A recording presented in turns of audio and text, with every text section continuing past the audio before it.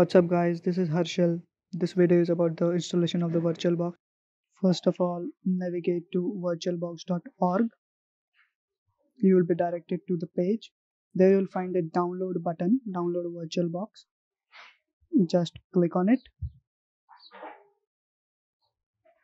You will find this page where you have multiple platforms to download it for, one for Windows, OS X, Linux and for Solaris. In this video, I'm showing you how to download it for Windows. Just click on it to start download. I have already downloaded the file, so I'm gonna skip it.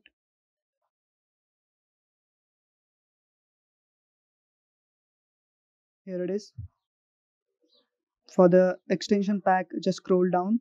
You'll find the extension pack all supported platforms link. Just click on it to download it.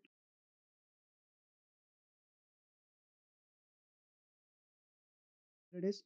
Just double click on the virtualbox to install it.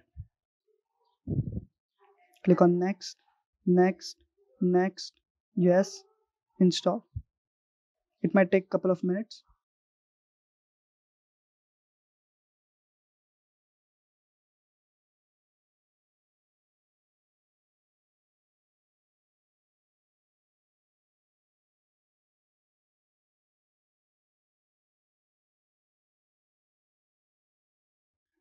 that's it. Uh, i'm just skipping it to start. So click finish. And just double click it to start. You'll, if you find this interface it's perfectly installed.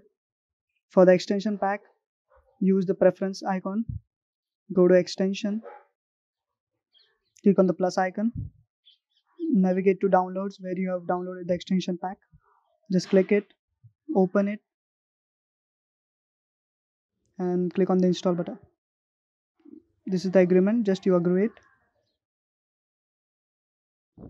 If this message comes pop-up message the extension pack is successfully installed.